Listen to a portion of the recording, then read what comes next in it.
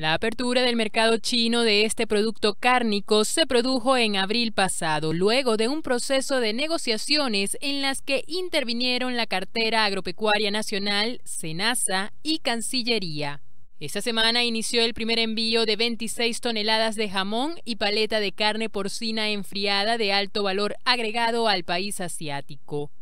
Según el titular de la cartera agropecuaria nacional, Luis Miguel Echeveré, este avance se basa en el esfuerzo del trabajo que viene realizando el sector y que será en beneficio de todo el país.